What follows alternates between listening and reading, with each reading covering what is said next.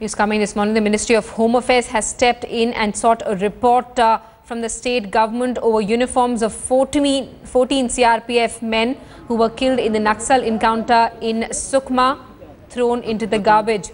14 CRPF men killed in the encounter with Naxals on Monday. Their uniforms were recovered from the garbage dump of a hospital where their post-mortem was conducted. The uniform, shoes and other belongings were found by locals dumped outside the dumped outside the hospital in a garbage heap. This was outside the Dr. Bhimrao Ambedkar Medical College mortuary in Raipur. The CRPF has blamed the doctors for not preserving the uniforms of the martyrs. It has written to the state government complaining about uh, it has written to the state government alleging insult to the soldiers who lost their lives in that Naxal encounter. This even as uh, the MHA seeks a report from the state government. Let's get now from our correspondent Kamaljeet Sandhu who's with us on the phone line. Kamaljeet, the, CRPF alleging that uh, hospital authorities are to be blamed even as the MHA seeks a report from the state government.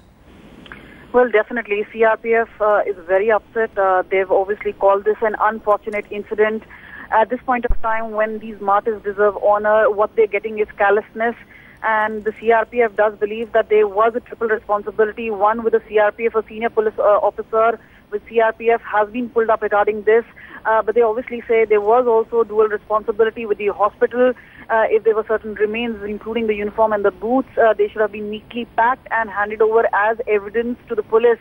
Uh, the police on its part should have uh, taken these particular uniform and boots as evidence and if they were not required they should have been handed over to the CRPF uh, so that they could either keep it as as uh, for themselves or hand it over to the next of kin as some of the people really demand but right now, what they believe is uh, that there has been uh, this case has been handed uh, handled insensitively.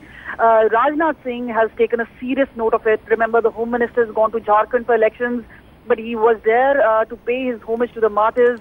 He had taken a high-level inquiry right right in Raipur. Uh, but at this point of time, uh, the Home Minister taking a very serious note, Ministry of Home Affairs has sought a report from Chhattisgarh government. And remember, there is a BJP government.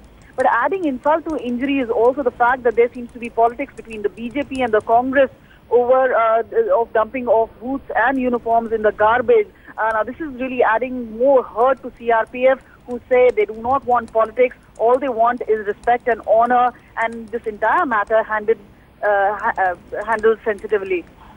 Kamalji, thanks so much for that update. We're going to keep coming back to you for more. The MHA is seeking a report from the state government, the CRPF holding hospital authorities responsible.